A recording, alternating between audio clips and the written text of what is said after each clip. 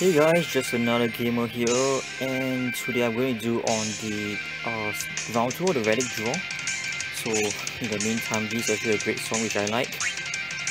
Okay, so for today that will be the round 2 and this will be an infusion soul great relic guaranteed. So this actually means the, we call it the En-Element.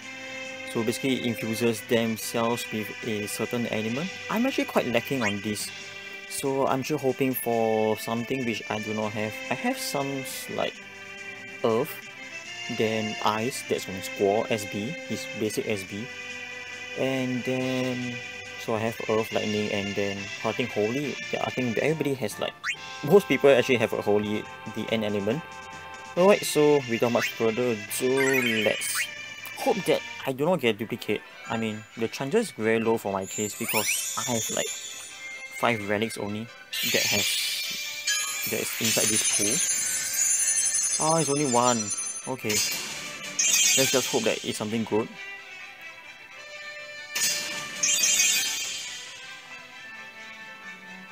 So for tomorrow's banner, that will be the BSB draw, and I think that will be like the main item, the main banner which we are actually looking out for because it, guarantees uh, a burst soul break.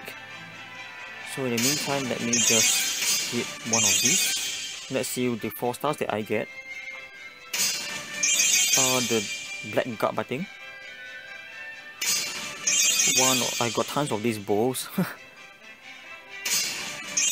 this one is okay, I think. It's a FF2. Uh, I think this locks jacket.